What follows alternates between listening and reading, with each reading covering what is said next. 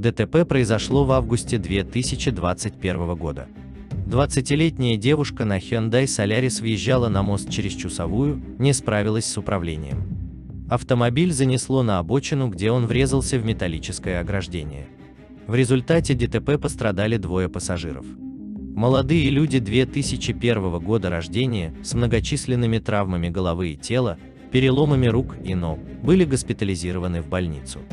Данные повреждения квалифицированы как тяжкий вред здоровью. В отношении нарушительницы возбудили уголовное дело по статье «Нарушение лицом, управляющим автомобилем правил дорожного движения». Повлекшее по неосторожности причинение тяжкого вреда здоровью человека, окончено предварительное расследование, дело передано в суд. Девушке может грозить до трех лет лишения свободы. Также следствие выяснило, что девушка не раз привлекалась к административной ответственности за нарушение ПДД. Берегите себя и своих родных, и не забудьте подписаться.